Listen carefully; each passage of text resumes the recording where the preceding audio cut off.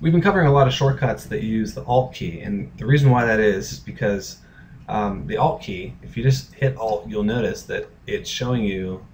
letters up here that correspond to the different menu options. Um, so that control that allows you to navigate up into these menu bars here without using the mouse. So now if I go to, um, if I hit M for formulas, it's going to go into formulas and it's going to show me another set of letter options that I can hit. So if I want to go now into, um, you know, H, it'll go show formulas, right? And and so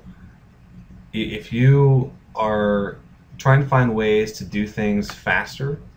in Excel,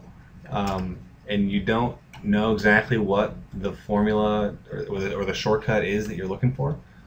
just try to try to find a way to do it using the menu options, and then you can always replicate that using a creating a quick shortcut. So,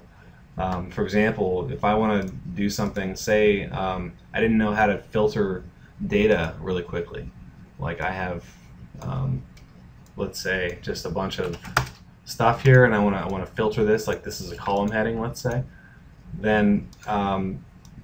what I would do is just hit Alt and kind of go to where I would need to go. So Alt, um, A, and then T is one way to do that. Um, so if you didn't know that, you can always you can always figure it out or figure a different method um, to do things in Excel by using the Alt key and going up into these menu options here. Um, and this also works like if you have a dialog box here, you can see anytime that these these uh, letters are underlined, you can either type that letter, like so I, you know, cancel in this case does not have. I'm going to actually cancel, but if I if I wanted to save this, I can just hit S, and it's going to bring up that that option. So anytime that numbers or sorry letters are underlined, that's an invitation to to use that shortcut, and you can do that by either just typing the letter or you, or holding Alt and typing the letter, and that will allow you to um,